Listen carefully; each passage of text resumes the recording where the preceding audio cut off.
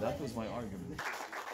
Um, I would like to begin by thanking the organisers for arranging this event. Um, um, so Kashmir is my birthland, my home, and it's very dear to me. As part of the diaspora, I have a responsibility to duly represent my people and ensure that the truth is always brought to surface. After Kashmir's autonomous status was stripped off by the Indian government, excruciating weeks followed.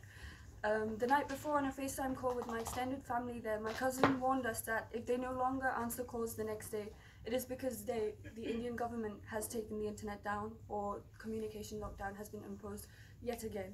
Um, days of the communications lockdown turned into weeks, and soon those weeks turned into months. Horrifying stories emerged from the valley under siege. Disappearances, deaths, restrictions far worse than our expectations were imposed and are still enforced to this day. Children have lost their academic calendars and businesses have been terribly affected.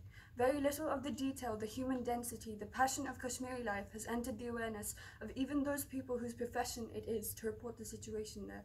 Our own journalists have been barred from reporting the situation in the valley and forced into manual labor.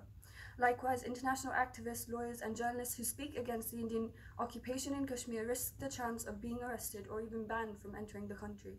What we have now is a series of crude, essentialized caricatures of life on ground, presented in such a way to make the world vulnerable and desensitized to the Indian occupation ag- and aggression in Kashmir.